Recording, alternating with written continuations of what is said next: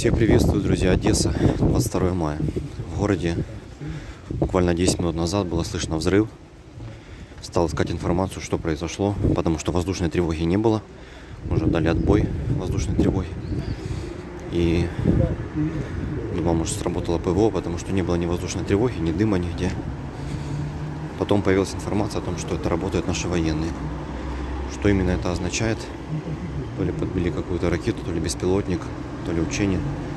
Пока информации официальной об этом нет. Просто сказано, что работа наших военных без паники. Вот так вот. Но взрыв было слышно такой нормальный, знаете, по, по ощущениям, как будто бы подбили в небе какую-то ракету.